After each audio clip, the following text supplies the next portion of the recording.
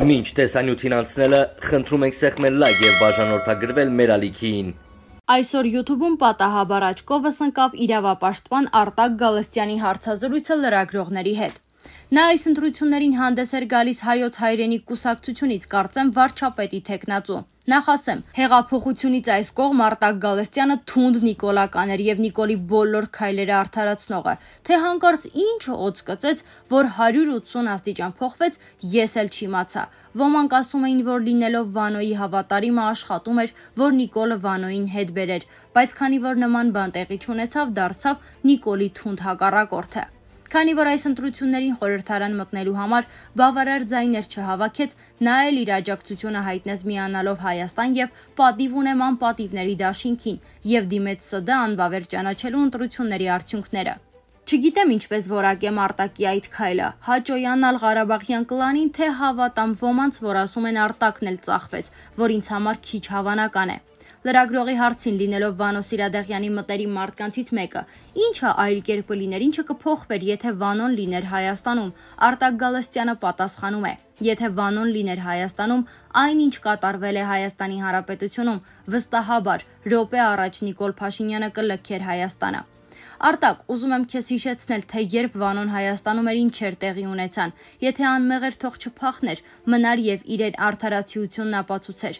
Ուզում եմ ես էլ վստահաբար պատասխանել, քանի որ Վանոս Իրադեղյանը հետախուզման մեջ է, դու էլ լավ գիտես ինչի համար։ Ոստի դեռ շատ երկար ժամանակ աչքդ կմնա ճամփին։ Եթե գա էլ, նրան շատերն են անհամբեր սպասում, որ իրենց վրեժը լուծեն։ Հենց մեկը Ղանդիլյանի տղան։ Արտա գիտենք, որ եղել ես Վանոյի հավատարիմը, բայց մի հատ ժողովրդին հարցրու, ուզում են Վանոյի վերադարձը, որ նա էլ ժողովրդի լեգիտիմ վարչապետին րոպե առաջ լքել տար Հայաստանից։ Արտակ, Վանոն քեզ համար է հեղինակություն, իսկ շատ շատերի համար շատ տհաճ հիշողություններ են կապված նրա անձի հետ։ Ահագին տեղեկությունների էլ ես եմ տիրապետում։ Մեզ միայն այդ էր պակաս մնացել Ղարաբաղյան կլանից դեռ չազատված, հիմա էլ կրկին Վանոյի կամայականություններին պետք է ենթարկվենք, բայց չես զգում, որ ժամանակներ են փոխվել քո երազանքները ժողովրդին մի պարտադրի։ Արտակ, դու էլ գիտես, շիտակ խոսող եմ, կուզեի քեզ տեսնել նույն Արտակը, որ հեղափոխությունից հետո տևական ժամանակ ամուր վարչապետի թիկունքին էիր։ Ես գիտեմ, որ բավականին լավ վերլուծել գիտես։ Կգա ժամանակը կզղջաս, բայց ուշ կլինի։ Այսօր քեզ չի սազում ՍԴ-ում նման մարուկներ բացահայտել, կապված ծրարների որակի, քվյաթերթիկների պաշտպանիչ շերտ չունենալու կամ ինչու պետք է եզդի ընտանիքի ձայները գողանային իշխանությունները, որն անհավանական է։ Այսինքն, քո այդ բացահայտումներն են պատճառը, որ աջակցում ես Հայաստան եւ պատիվ ունեմ դաշինքներին, որոնք 20 տարի կերան կրծեցին Հայաստան այդ թալանշի հանցագործները իրենց մաֆիաներով։ Բա մեղքը չի գալիս մեր ժողովրդին, մեր երկրին, ինչև երբ։ Կարող է դու էլ հավատացիր, որ Նիկոլն է եղել հողերը ծախողը, կամ Քոչի ու Սերժ Իվանեցյանի իշխանիկի, Գեղամիկի եւ մյուսների հայրենասիրական կոչերը քեզ հանեցին Նիկոլի դեմ։ Դու լինելով իրավապաշտպան ինքդ էիր մերկացնում նախկիններին։ Հիմա ոնց է որ չես զգում, որ նրանք ինչի են ձգտում, ինչի են ընդունակ եւ ինչի համար են ամեն գնով զավթում իշխանությունը։ Դու քեզ հարց տալիս ես եւ դու այսօր նրանց աջակցում ես իրենց հանցագործ ծրագրերը կյանքի կոչեն։ Քեզ չի սազում։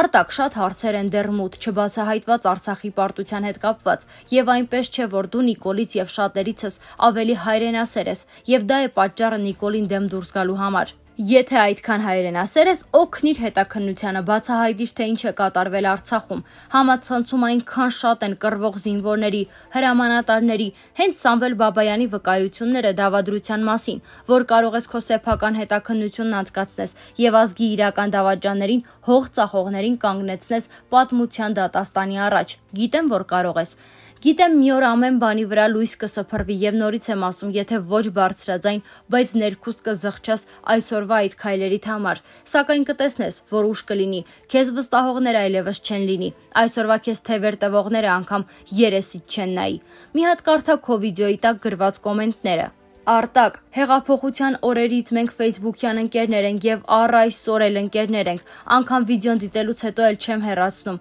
Հակառակ քեզ ես իմ ընկերներից այդքան հեշտ չեմ հրաժարվում։ Աշխատում եմ դարձի վերել։ Սպասում եմ արձագանքիդ, թեկուս ներքին նամակով։ Գրառումը կատարել էր Սոնա Արշունեցին իր Facebook-յան էջում։ Հայկ Թորոյանը Facebook-յան իր էջում գրել է. Անկեղծ ասած, արտաքին գործերի նախարարի նորանշանակ առաջին տեղակալ Արմեն Գրիգորյանին չեմ ճանաչում, բայց մի բանում համոզված եմ, որ նախկին 3 տարիները բավարար էր Նիկոլ Փաշինյանին, որ เป զի կադրային քաղաքականության մեջ պաշտոնների նշանակման հարցում այլևս չսխալվի, քանզի յուրաքանչյուր սխալ նշանակում կարող է ճակատագրական լինել, թե Փաշինյանի թիմի համար, թե հայ ժողովրդի։ Ոստի Չճանաչելով Արմեն Գրիգորյանին, բայց վստահելով վարչապետի այս որոշմանը, շնորհավորում եմ Արմեն Գրիգորյանին եւ իմ անձնական կարծիքով առաջիկայում, երբ նոր կառավարությունը ձևավորվի, ապա հենց Արմեն Գրիգորյանն էլ կնշանակվի արտաքին գործերի նախարար։ Սիրելի հայրենակիցներ, անձամբ ես ակնկալում եմ, որ նոր արտաքին գործերի նախարարի նշանակման իսկ պահից արտաքին աշխարհում կունենանք բավականին դրական փոփոխություններ եւ ակնկալում եմ, որ տեղի կունենա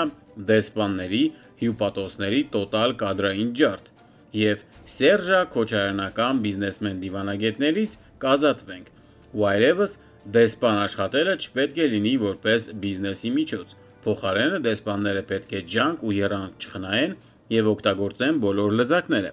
որ เป զի անհնարինը հնարավոր դարձնելով միլիոնավոր դոլարների ներդրումներ բերեն Հայաստան։ Միաժամանակ պետք է արտերկրում դեսպանատները կարողանան Սփյուռքի հայերին համախմբել եւ տարբեր ծրագրերով ներգրավեն Հայաստանի հզորացմանը ու շենացմանը։ Միաժամանակ իմ հետևորդներին եւ ընկերներին վստահեցնում եմ, որ եթե մեծարգո պարոն վարչապետ Նիկոլ Փաշինյանը կադրային քաղաքականության որոշումներ կայացնելու հարցում փորձի պարոն Հարությունյանի հետ միասին քննարկի եւ իր կարծիքը որպես իգիտություն ընդունի, ապա ես համոզված եմ, որ սխալվելու հավանականությունը ել ավելի կնվազի։ Սա իմ անձնական կարծիքն է, քանզի ես հասցրել եմ բավարար չափով ճանաչել պարոն Հարությունյանին եւ նկատել իր աշխատասիրությունը եւ նվիրվածությունը, թե իր թիմի, թե Հայաստանի Հանրապետության։ Բայց ասեմ նաև, որ մինչ օրս Սերժից մնացած դեսպանների շարքում կան նաև հիանալի մարդիկ, որոնք 2018-ին միանալով հեղափոխության գաղափարներին եւ մինչ օրս ավելի հավատարիմ մնացին Նիկոլ Փաշինյանին եւ հայոց պետականությանը, անվերապահորեն ծառայեցին հայ ժողովրդին, քան Հայկ Մարությանը թագուհիները ու Վանեցյանը ունիկական մանդատ գողացող երևույթները, որոնք այդ կուսակցության շվակի տակ եկան պաշտոնների, բայց ամենադժվար ժամանակահատվածում կամ դավաճանեցին կամ պարզապես կուսակցությունից հրաժարվելով ընդհատակ անցան, կարծելով ՔՊ նավը խորտակվում է։ Առողջ եղեք ժողովուրդ ջան, ՀԴՄ-ները չմոռանաք։ Մի ներդրված վտանգավոր քարոշչական կաղապարի մասին։ Հայ մամուլը այս օրերին Աժրիում եւ կառավարությունում նոր նշանակումների վերաբերյալ տեղեկություններով ուշադրության է արժանի հատկապես ռազմաքաղաքական բլոկում, ՊՆ-ում եւ ԱԳՆ-ում ղեկավար կազմի նշանակումների վերաբերյալ քննարկումը։